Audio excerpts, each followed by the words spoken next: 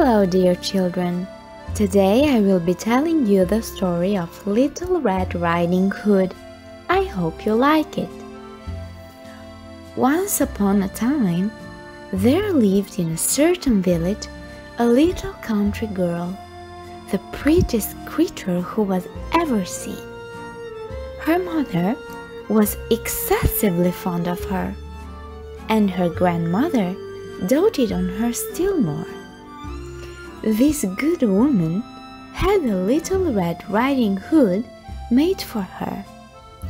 It suited the girl so extremely well that everybody called her Little Red Riding Hood.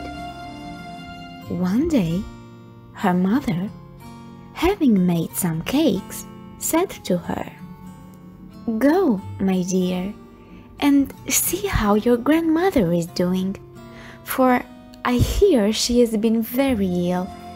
Take her a cake and this little pot of butter. Little Red Riding Hood set out immediately to go to her grandmother, who lived in another village. As she was going through the wood, she met with a wolf, who had a very great mind to eat her up, but he dared not, because of some woodcutters working nearby in the forest. He asked her where she was going. The poor child who did not know that it was dangerous to stay and talk to a wolf, said to him, I am going to see my grandmother and carry her a cake and a little pot of butter from my mother. Does she live far off? said the wolf. Oh, uh, I say, answered Little Red Riding Hood.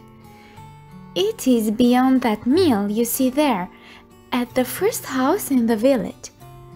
Well, said the wolf, I will go and see her too. I'll go this way and you go that, and we shall see who will be there first. The wolf ran as fast as he could, taking the shortest path, and the little girl took a roundabout way, entertaining herself by gathering nuts running after butterflies and gathering bouquets of little flowers. It was not long before the wolf arrived at the old woman's house. He knocked at the door. Tap tap. Who is there? Your grandchild, little Red Riding Hood, replied the wolf, counterfeiting her voice who has brought you a cake and a little pot of butter sent by the mother. The good grandmother, who was in bed, because she was somewhat ill, cried out, Pull the bobbin and the latch will go up. The wolf pulled the bobbin and the door opened, and then he immediately fell upon the good woman and ate her up in a moment, for it had been more than three days since he had eaten. He then shut the door and got into the grandmother's bed, expecting Little Red Riding Hood, who came some time afterwards and knocked at the door. Tap, tap. Who is there?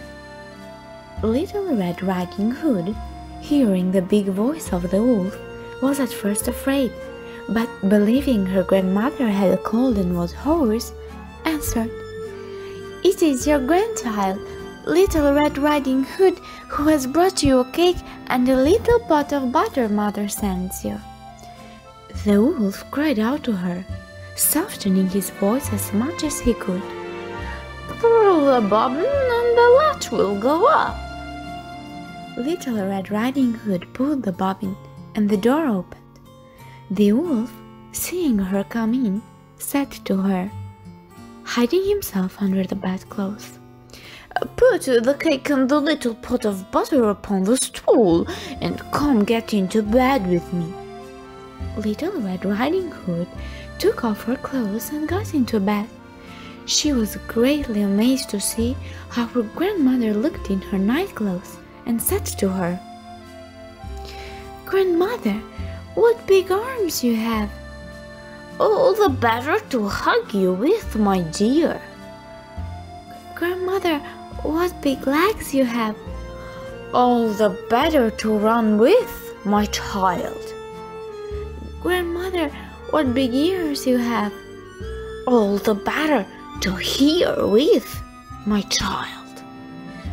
Grandmother, what big eyes you have. All the better to see with, my child. And Grandmother, what big teeth you have got. All the better to eat you up with. And saying these words, this wicked wolf fell upon Little Red Riding Hood and ate her all up. The poor little girl had forgotten that before she left the house, mother had told her not to talk to strangers and especially not to change her path. But the little girl forgot. She talked to the wolf and she also took another path. When the wolf had appeased his appetite, he lay down again in the bed. He fell asleep and began to snore very loud. The huntsman was just passing the house and thought to himself, How the old woman is snoring! I must just see if she wants anything.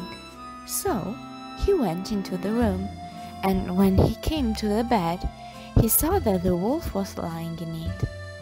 Do I find you here, you old sinner? said he.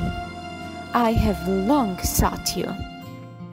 Then just as he was going to fire at him, it occurred to him that the wolf might have devoured the grandmother and that she might still be saved. So he did not fire, but took a pair of scissors and began to cut open the stomach of the sleeping wolf. When he had made two snips, he saw the little Red Riding Hood shining, and then he made two snips more, and the little girl sprang out crying. Oh, how frightened I have been! How dark it was inside the wolf! And after that, the aged grandmother came out alive also, but scarcely able to breathe. Little Red Riding Hood, however, quickly fetched the great stones with which they filled the wolf's belly, and when he awoke, he wanted to run away, but the stones were so heavy that he collapsed at once and fell dead. Then all three were delighted. The huntsman drew off the wolf's skin and went home with it.